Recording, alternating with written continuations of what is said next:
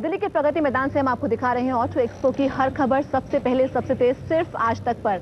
हम, हमारी 25 लोगों की टीम लगी हुई है आप तक हर खबर सबसे पहले, सबसे तेज पहुँचाने के लिए। और हमारे साथ इस समय मौजूद हैं दिलीप छाबड़िया साहब, जो कि सुपर कार आज लॉन्च कर चुके हैं बिग बी को वो लेकर आए हैं। और साथ ही योगेंद्र प्रताप मौजूद हैं ऑटोबिल के एडिटर इनसे बात करेंगे, लेकिन अभी आपको दिखाते हैं कि महिंद्रा ने जब सैंगयोंग को खरीदा तो वादा किया कि ढेर सारी एसयूवी आएँगी भारत में। उनमें से एक आज दिखाई गई।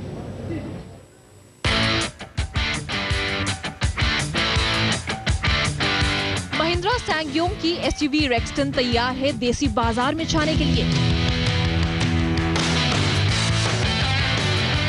इस गाड़ी को 6 से 7 महीने में लॉन्च किया जाएगा और तभी इसके दाम का खुलासा होगा। इस गाड़ी में 2.7 लीटर का ताकतवर turbo charge common rail diesel engine लगा है। इस कार की पावर एक पीएस है। टॉक के मामले में भी ये एसयूवी के दीवानों को निराश नहीं करती और 402 न्यूटन मीटर की टॉक इसके दम को साबित करती है।